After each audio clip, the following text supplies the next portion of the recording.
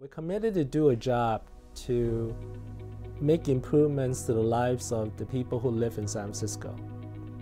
And we want to do it as cost effectively as we can.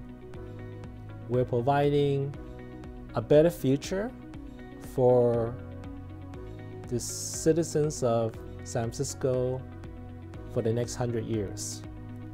And we're all proud of the job that we do and we're committed to make sure that we do it successfully.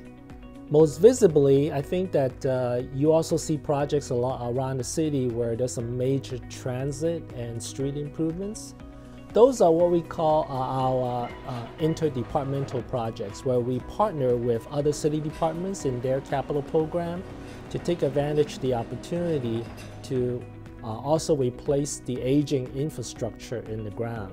By doing it together with uh, our sister agencies, we would minimize the impact to the community and have it done all at once and be able to provide our ratepayers and our customers a completely new and reliable utility that should last another 100 years.